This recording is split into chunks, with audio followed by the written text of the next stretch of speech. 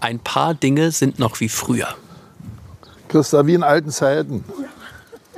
Nachbarinnen wie Christa, die kennt Bernd Siegert schon lange. Seit 1971. Da hat Bernd Siegert noch im alten Hornow gelebt, 15 Kilometer nördlich. Kriegerdenkmal. Das ist das alte aus Hornow. Diese Museumscheune hatten wir auch im alten Dorf schon.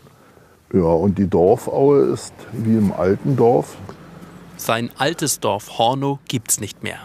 Abgebaggert. Als Entschädigung bekamen die Hornower dieses komplett neue Dorf. Vorher war hier Acker. Jetzt sind hier Wohnhäuser. Ein Teich mit zwei Stegen. Eine neue Kirche. Das Dorf ist jetzt 20 Jahre alt. Da hat man sich dran gewöhnt. Das ist Bernd Siegert vor 26 Jahren. Als Bürgermeister des alten Hornow sieht er, wie im Brandenburger Landtag zwei Drittel dafür stimmen, sein Dorf abzubaggern. Denn unter Hornow liegt Braunkohle. Für die müssen 320 Menschen ihr Dorf verlassen.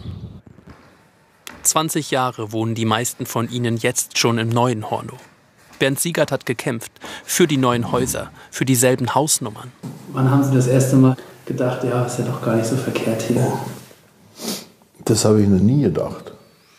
Ich habe immer gedacht, das, was wir aus der Situation gemacht haben, das war für uns das möglichst zu Erreichende. Aber äh, das ist nie ein Ersatz für das, was wir verloren haben. Doch man soll nicht jammern. Das hat er auch den anderen gesagt. Aber das ist gar nicht so leicht. Dagmar Wellenbrink hat in ihrem Garten noch viele Pflanzen aus dem alten Hornow. Das ist die Magnolie, das ist der Flieder, das ist lila Flieder. Heute kann sie sich an den Pflanzen erfreuen.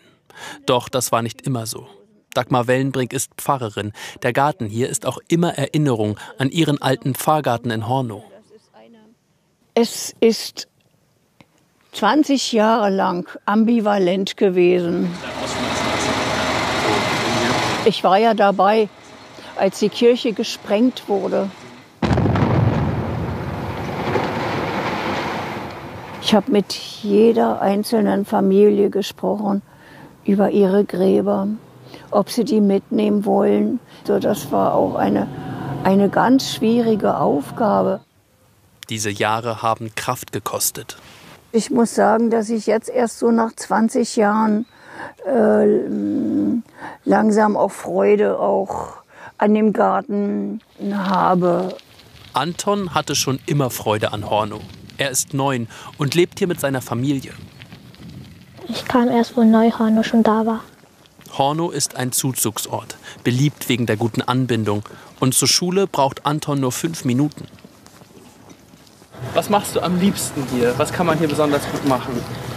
Äh, Verstecke auch spielen und äh, die Fische beobachten im Teich drin und sie füttern auch schön. So hier unten schwimmen sie meistens lang. Die Fische, Ja. sein Fußballverein. Anton lebt gerne hier. Was Hornow heute zusammenhält? Eine Gaststätte, der Spielmannszug, die Feuerwehr. Hier sind alle willkommen, auch die, die neu herziehen. Für viele ist es schon so ein ganz normaler Ort, äh, weil es ist nicht jedem bekannt, die ganze, äh, der ganze Hintergrund von unserem Ort.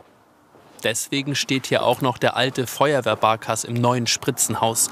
Für Thomas Noack Erinnerung an seinen Heimatort. Meine Heimat ist Hornow. Wird es auch immer bleiben. Ja. Obwohl es nicht mehr da ist. Das neue Hornow ist für ihn aber ein Zuhause geworden. Immerhin.